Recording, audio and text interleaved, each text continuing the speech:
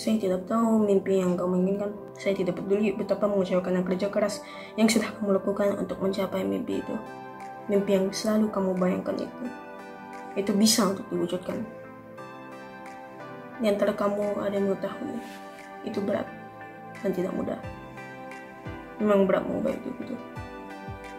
Tapi di dalam suatu proses untuk meraih impian ada, kamu akan mengalami banyak kekecewaan, banyak kegagalan, banyak cobaan. Ada saat-saat di mana kamu meragukan diri kamu sendiri. Ya Tuhan, kenapa? Kenapa ini menimpa pada saya? Saya tidak pernah menyakiti orang, saya tidak mencuri, saya tidak lakukan apa pun yang buruk. Kenapa ini terjadi pada saya? Bagi kamu yang memiliki pengalaman beberapa kesulitan, jangan menyerah pada impian kamu. Masa sulit pasti terjadi, tetapi itu tidak selamanya itu terjadi hanya untuk dilewati.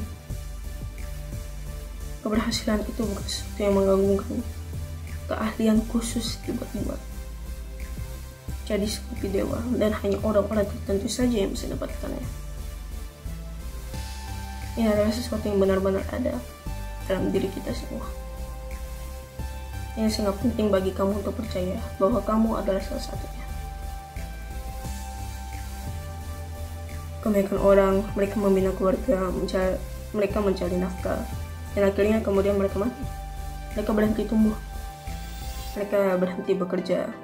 Mereka berhenti berkembang. Mereka berhenti mendorong diri mereka sendiri. Maka banyak orang suka mengeluh tetapi mereka tidak ingin melakukan apa-apa tentang situasi mereka.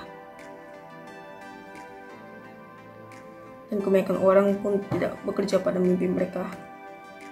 Karena mereka takut Takut akan apa? Takut akan gagal. Bagaimana jika saya tidak berhasil? Apa yang akan terjadi?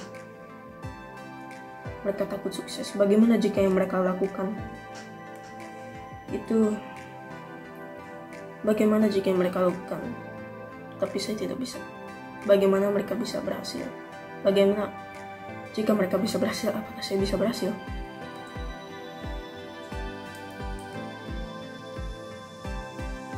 Jangan Jangan berpikir seperti itu. Berpikirlah positif.